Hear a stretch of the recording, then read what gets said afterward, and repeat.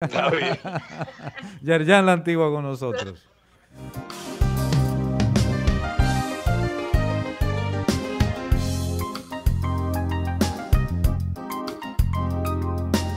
Gracias, gracias Fulvio, gracias Francia, Amado, a Carolina y a todo el equipo Hola. de producción y a la gente que nos hace el favor de seguirnos, ¿verdad? Y de escucharnos durante tres horas continuas de producción exquisita en este su programa de mañana. ¿Cómo que tú le dices, eh, eh, Fulvio? La esencia. La esencia. Sí. Bien, eh, en el día de hoy voy a iniciar con algo positivo. Sí, eh, hoy es lunes y estamos saliendo de esta pandemia, ¿verdad? Estamos ya eh, entrando a nuestro nuevo estilo de vida y abriendo ya la economía. Y entonces yo quiero hablar de algo positivo. Y es felicitar a la familia TEN. Eh, es una familia que se ha dedicado a regalarle cena a los policías en San Francisco de Macorís. ¿Y cómo así? Sí, mírenlo ahí. Esa familia, de manera gratuita, les regala cena a los policías en San Francisco de Macorís. Entonces, eso hay que destacarlo Claro. de la Son Son humanidad. ¿Eh? Porque de los policías nadie se acuerda, porque todo el mundo lo, lo acusa de malo, pero cuando, nos- cuando tenemos un problema queremos un policía. Esa Es verdad. familia está haciendo un gran trabajo y yo desde aquí, desde el programa de mañana, quiero agradecerle a ellos en nombre de todos los policías eso que están haciendo. Miren qué bien, ellos toman de sus recursos para eh, darle totalmente gratis cena a los policías. Caramba, los, los policías que están eh, eh, cogiendo tanta lucha con la gente ahora y que además tienen pocos lugares donde comprar porque ¿qué lío ahora con el toque de queda que no hay ningún negocio abierto y dónde cenan los policías? Y esta familia le está resolviendo el problema muchísimo de ellos. ¡Qué bueno! Vamos a escuchar eh, el audio de este video de un amigo policía que nos mandó, donde él le está agradeciendo a ella esta, est- esto, este gesto. Mire, hermano mío, ese video que le está haciendo esa, de esa persona, mire, esas son personas que tienen, desde que empezó la cuarentena, mira, dándole, dándole policía, dándole cena a los policías, hermano, mire. Esas son cosas que nosotros le agradecemos los policías infinitamente en el alma. Ellos no saben el valor que tiene esa cena que ellos nos dan a nosotros, ya que se nos hace tan difícil en la noche, porque como el toque de queda después de las 5 de la tarde, todos los negocios están cerrados. Mire, esa gente, desde que empezó la cuarentena, mire, dándonos comida a nosotros, dándonos esa cena ahí, toda la noche, mire, nosotros se lo agradecemos infinitamente en el alma, hermano mío.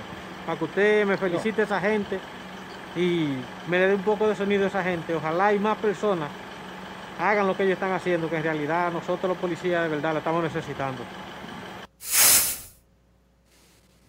Sí, hay que destacarlo.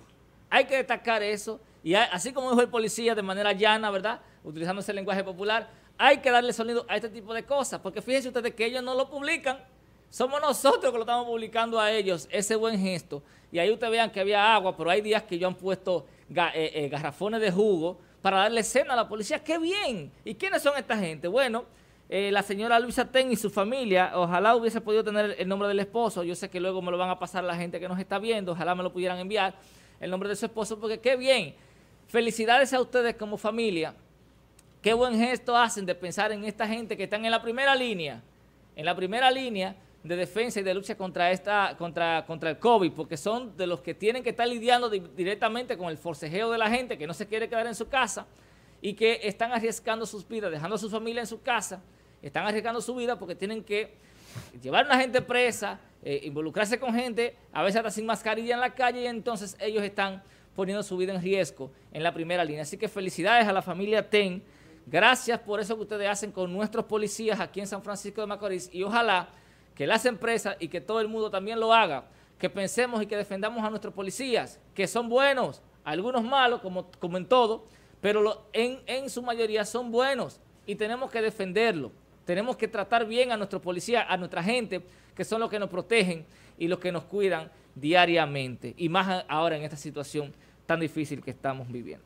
Por otro lado, prometí que iba a hablar sobre el tema de, de Edenorte. Resulta que nos, lle- nos llegaron denuncias muchísimas, recibos, pudieran colocar la imagen aquí, en la- ahí, eh, muchísimos recibos de gente que se le duplicó la energía eléctrica, su factura, incluso gente que se le triplicó, Gente que le llegaba la factura de mil pesos que le llegó de cuatro mil. A ese le fue cuatro veces, ¿verdad?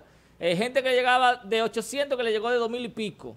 Entonces nosotros eh, le pedimos a la gente que nos enviara los recibos, nos comunicamos con la gente de Norte en Santiago e inmediatamente nos dieron una información.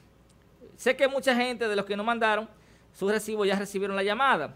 Ellos dicen, eh, vamos a ver, ellos aseguran que no han aumentado la tarifa de facturación, dicen ellos. A mí me la duplicaron. Eh, dicen ellos que, que la institución dijo que hay tres factores que inciden en este periodo de cuarentena para que los clientes realicen mayores consumos. Y dicen que entre estas razones que los usuarios están observando un incremento de su facturación es que en este momento estamos recibiendo energía 24 horas. Eso es cierto. Realmente los pueblos están recibiendo energía 24 horas. Lo que estamos en 24 horas tenemos una tarifa que no llega. Exactamente. Y se, duplicó. Para allá voy, para allá voy. Eh, el pueblo está recibiendo eh, energía eléctrica 24 horas. Eso es cierto. Pero la gente que, siempre tenemos 24 horas no nos llega así. No llega fija. Por ejemplo, el consumo es siempre más o menos similar. Y no tiene por qué triplicarse o duplicarse. Otro de los factores, dicen ellos, eh, que consecuencia de que la ciudadanía pasa más tiempo en sus hogares, esa situación provoca un mayor uso de los electrodomésticos. Normalmente la nevera siempre está conectada. Es como yo digo, en mi casa no se ha aumentado el consumo. Y si se ha aumentado, es mínimamente, porque siempre hay gente. Y dice que sumado a esta realidad, a, ¿verdad? A, las 24 horas y a que la gente está en su casa también, las altas temperaturas. Dice aquí eh, prevalece en el país alta temperatura conocida como el calor de verano. ¿Qué resulta? Le podemos comprar de norte eso. Y yo le agradezco a la gente de norte que gentilmente ¿verdad? se comunicaron con nosotros, nos han dado seguimiento y qué bien por ese equipo. Pero en sentido general, en sentido general, realmente nosotros no podemos eh, eh, creerlo así por así. Porque hay gente que la luz la energía eléctrica le llegaba, por ejemplo, de 900 pesos y ahora le llegó de casi 4 mil. ¿Cómo es posible? ¿Qué tanto consumió durante este tiempo? ¿Qué se está haciendo? Y entonces, continúan lloviendo las, denuncias porque ellos han dicho que es una, porque la gente ahora está en la casa, es cierto que pudiera ser que consuman más, pero no, no el doble ni el triple. Eh, la temperatura es cierto que es tan alta, pero tampoco es para que te triplique la, la tarifa. Y tercero, que, lo otro es que estamos 24 horas. La, Hay una gran parte de la población que tiene sistema 24 horas de energía eléctrica y no tiene por qué triplicarse porque yo, la tenía antes. O sea, yo tenía 24 horas antes de la pandemia y ahora resulta que tengo 24 horas con algunos apagones que a veces entendemos que por fallas eléctricas, pero entonces se me triplica. ¿Cómo es posible? ¿Cómo lo justificamos? Entonces, esta información que nos da eh, Norte. Eh, vamos a ver, tenemos ahí los la, la, yo mandé ahí el informe de ellos, la comunicación de Norte. Mírenla aquí. Ahí está. Eso ellos los envían un comunicado respondiendo a la denuncia que hiciéramos el pasado viernes aquí en el programa. Y entonces, hoy quisimos eh, presentarle a ustedes en exclusiva la información que ellos nos dan ahí. Eh, las personas que quieran esos detalles, yo se los puedo mandar vía WhatsApp. pero ahí está la información. De todas maneras, es la misma. ¿Eh? Es la misma. Sí, yo lo que espero que de norte corrija esa situación. Y yo estoy en creer, y esto es una especulación, yo estoy en creer que hay gente en el de norte que son enemigos del, del gobierno. Claro. Dilo, dilo. Claro, hay que decirlo, porque si ustedes se analizan los dos últimos discursos antes del de anoche. No, yo estoy calladito. Cada vez que el presidente hablaba, se iba la luz. Quincán, un, un apagonazo. Eh, eh, cuando habla el presidente. Sí, y resulta que ahora, en medio de la pandemia. Lo que hacen es aumentar. Eh, lo que hace es que te aumenta la tarifa. Pero por Dios, ¿cómo es posible si se supone que ya Punta Catalina entró? Ya entró Punta Catalina. Se supone, se supone que ahora tenemos que tener más luz y más barata. Entonces tenemos, es cierto que tenemos más luz, ¿verdad? Porque está 24 horas en todos los sectores ahora mismo por la situación, pero entonces la tenemos dos y tres veces más cara. Entonces, ojalá yo me equivoque, pero parece que hay alguien que es enemigo del gobierno, hay en, las EDES que está haciendo, eh, que está golpeando a la población de esta manera. Así que con esto yo concluyo haciéndole nueva vez el llamado de Norte. La temperatura alta no es, no me pueden decir a mí que esa es la razón, no me pueden decir a mí que porque estamos más tiempo en la casa y no me pueden decir a mí que siempre, que casi siempre tengo 24 horas, que es por eso, porque la 24 horas lo que te da es más estabilidad incluso dentro de la facturación eléctrica. Muchísimas gracias, Warner, Yoyan. Al mismo tiempo. Eh, eh, léete algunos mensajitos de WhatsApp para ver la interacción, la interacción de nuestros amigos de Me WhatsApp. gustó esta, Eh, eh. Yami, que Quintán se iba a la luz. Sí, es verdad. iba En, los dos Sí. últimos discursos del presidente, Quincán se va a la luz. Sí, sí, sí. sí. Oscuro el país. Tú dices, ay, una chichigua que yo quiero. Bueno. ¿Eh? Una Bueno, chichigua. le- Bueno. va- vamos a ver qué dicen nuestros amigos. Y Amado, preparado. Amado, que queremos escucharte después del Gustavo, WhatsApp. Gustavo Vargas Sí, desde yo- Santa Ana dice, el toque de queda empieza desde las desde cuándo a las 7 de la noche hasta las 5 de la mañana, El desde hoy. miércoles. Eh, No, Es de- es de hoy. Ah, No, del miércoles. Desde ¿El miércoles, no, desde el Ah, miércoles. el miércoles. Yo pensaba que era de hoy, comenzaba. Sí. Bueno, A- ayer concluyó la etapa que se renovó. ah, no, pues entonces eh, el, toque de queda com- inicia hoy, Hoy. pero la apertura de la economía inicia Es el miércoles. miércoles, sí. así es. Remberto, desde New Jersey, dice buenos días a todos, están visto el programa. El gobierno se le ha hecho fácil gobernar un país de ciegos, sordos y mudos. Todos los discursos del presidente es pura mentira. Y solo en el país de la maravilla de Danilo y sus ministros. Eh, qué mal con mi país tan hermoso, feliz día. Yo no estoy de acuerdo con la realidad.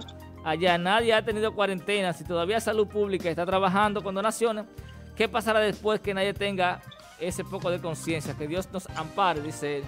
María desde la Javiela dice, quiero decir que de salud pública la gente no quiere nada y el presidente prácticamente abrió el país. Sin embargo, después de los votos, no quiero llanto, dice ella. Rafael Díaz nos manda aquí una fotografía. Rafael Díaz dice, la alta velocidad y el libertinaje en la carretera de Naranjo Dulce comienza a preocupar a las comunidades. Ayer una camioneta repleta de bañistas. ¿Cómo? ¿Cómo? Repleta de bañistas, dijo Rafael Díaz. Ah, pero mira la Perdió el control puede ser y verdad. hubo algunos heridos. Muévala ahí la, la fotografía. Pero se quemó, parece. Pero porque como si se hubiese quemado. Bueno, ahí está. Pero no puede ser, es repleta de bañistas.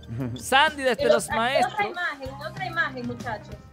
La- hay otra imagen arriba, muchachos, que se ve la, la, la- ajá, en primer plano. Ahí está. Anda. Bueno, ¿y cómo lo dejaron pasar? Sandy desde los maestros dice, buen No día. más que está, que es un tieto.